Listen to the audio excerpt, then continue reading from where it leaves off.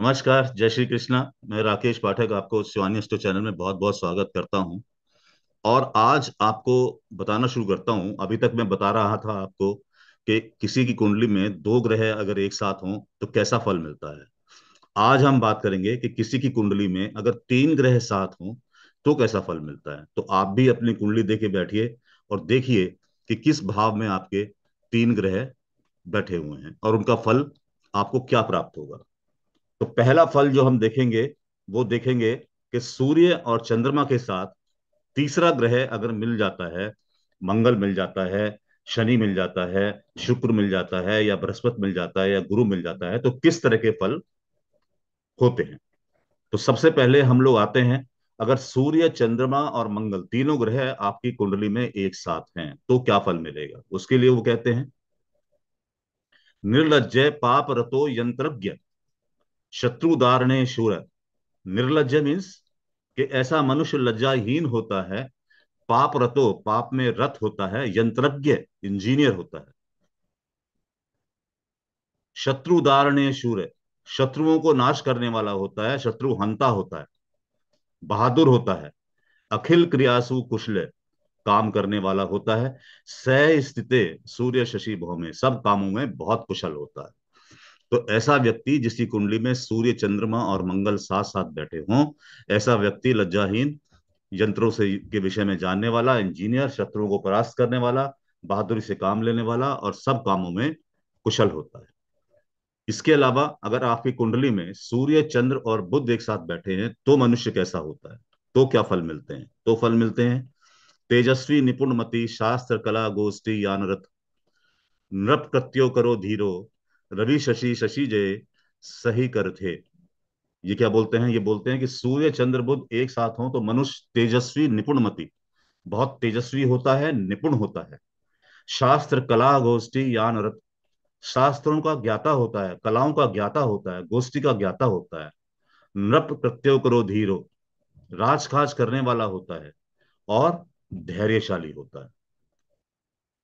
तो सूर्य, चंद्र और बुद्ध अगर एक साथ हों तो मनुष्य बहुत तेजस्वी, निपुण, बुद्धि, शास्त्रों, कलाओं से युक्त और राजकाज करने वाला और धैर्यशाली होता है। इसके भी, इसके अलावा यदि सूर्य, चंद्र और बृहस्पति साथ हो, तब अगर ये तीन ग्रह साथ हो आपकी कुंडली में, तब क्या होता है?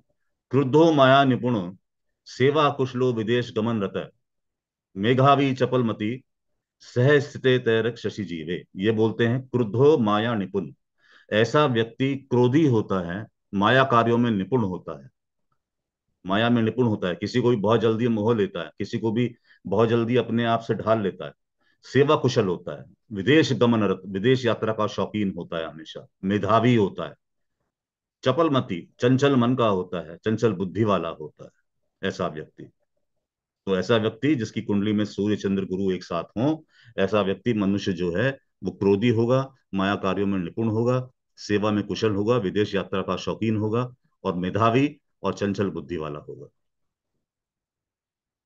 जिसकी कुंडली में सूर्य, चंद्र और शुक्र एक साथ हों, वो कैसा व्यक्ति होगा या उसके फल कैसे मिलते हैं? तो उसके बारे में शास्त्रों में लिखा है, परधन हरणे निपुण परदारस्थ शास्त्र निपुणश्च।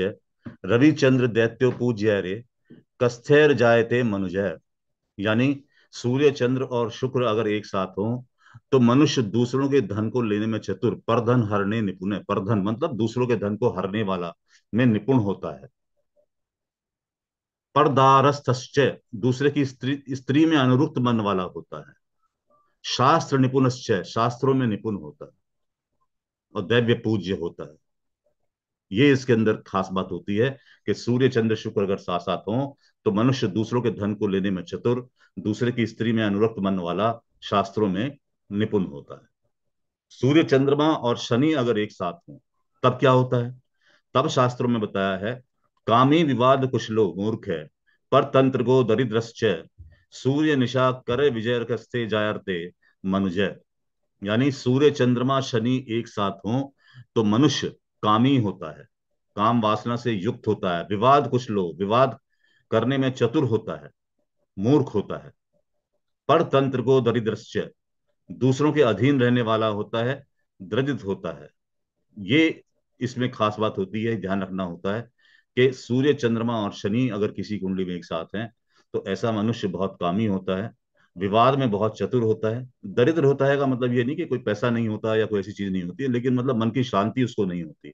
पैसा होगा, मन की शांति नहीं होगी, दूसरों के अधीन रहने वाला हमेशा वो काम करेगा, नौकरी करेगा, नौकरी करने में ही निपुण रहेगा, अपना बिज़नेस को खुद थोड़ा कम कर पाएगा।